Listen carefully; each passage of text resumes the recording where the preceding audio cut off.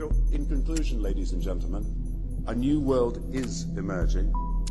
It is a new world order with significantly different and radically new challenges for the future. I think a new world order is emerging, and with it the foundations of a new and progressive era of international cooperation.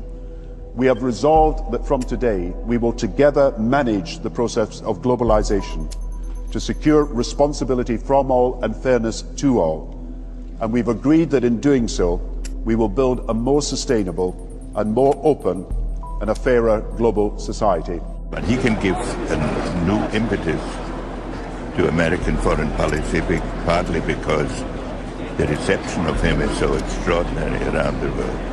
I think his task will be to develop an overall strategy for America in this period when really a new world order can be created. It's a great opportunity. It isn't just before us the opportunity to forge for ourselves and for future generations a new world order, a world where the rule of law, not the law of the jungle, governs the conduct of nations.